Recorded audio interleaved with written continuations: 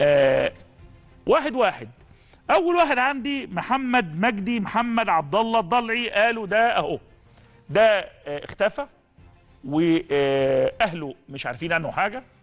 أبوه بدأ يصدر صيحات وصرخات إن هو آه، مختفي. ده كان في 19 إبريل 2015 19 إبريل 2015 ده ولد في كلية الهندسة في سنة أولى من محافظة كفر الشيخ يمكن ولا في شمال سيناء؟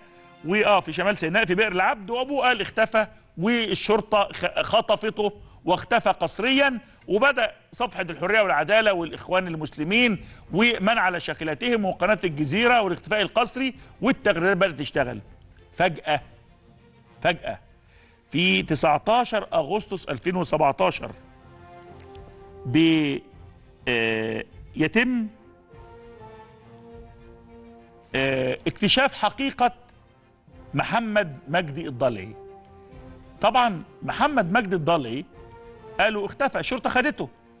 وفجأة بيتم افتضاح الأمر عن طريق داعش. وقالوا الشرطة موتته الشرطة صفته. بعد ما خطفوه صفوه. أنا بقول السبع حالات الموجودين أنا بترك للمشاهد إنه يبحث. فجأة بتظهر هذه الصورة. أبو مصعب المصري.